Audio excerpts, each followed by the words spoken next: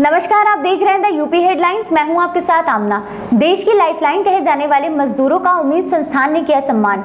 लखनऊ के गोमती नगर स्थित संगीत नाटक एकेडमी में मजदूरों के सम्मान के लिए एक शाम मजदूरों भाइयों के नाम नामक सांस्कृतिक कार्यक्रम का उम्मीद संस्थान द्वारा आयोजन किया गया, जिसमें मजदूरों को टिफ़िन बॉक्स और गमछे प्रदान करने के साथ ही उम्मीद संस्थान द्वारा संचालित रैन बसेरों को चार एलईडी टीवी और खेल का सामान प्रदान किया गया। कार्यक्रम का आयोजन संस्था के संस्थापक बलबीर सिंह मान रहे तथा कार्यक्रम के मुख्य अतिथि के रूप में उप मुख्यमंत्री उत्तर प्रदेश दिनेश शर्मा के साथ श्रम मंत्री उत्तर प्रदेश स्वामी प्रसाद मौर्य, ग्रामीण विकास मंत्री महेंद्र सिंह, परिवहन मंत्री स्वतंत्र देव सिंह अल्पसंख्यक मंत्री बलदेव सिंह ओहलाक महापौर संयुक्ता भाटिया, अपर मुख्य सचिव अश्वनी अवस्थी जिला अधिकारी लखनऊ राज कौशल, नगर आयुक्त लखनऊ इंद्रमणि त्रिपाठी और लोक गायक मालिनी अवस्थी उपस्थित रही। और मुझे खुशी है कि विभिन्न अवसरों पर हमारे सम्मानित लोग गए हैं।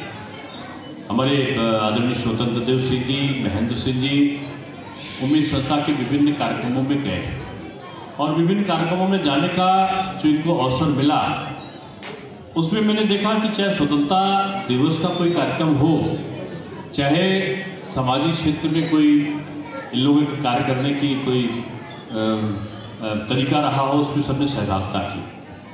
मुझे खुशी तब हुई कि रैन मिश्रा में बड़ा डर रहा था कि ऐसा ना हो कि नगर निगम ने इतने पैसों से बनवाया है। और पैसों से बनवाने के बाद गलत हाथों में चला जाए और कब्जा कर ले और कब्जा करने के बाद शादी ब्याह को उठाने लगे और उससे वो लाभ उठाने मेरे मन में आशंका थी। तो मैंने कहा कि चलो इनको एक प्रयोग के तौर पर देखते हैं।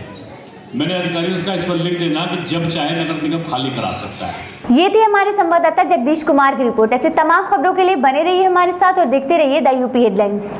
देश और दुनिया की सबसे पहले खबर पाने के लिए हमारे चैनल द यूपी हेडलाइंस को सब्सक्राइब करें और बेल आइकन प्रेस करें।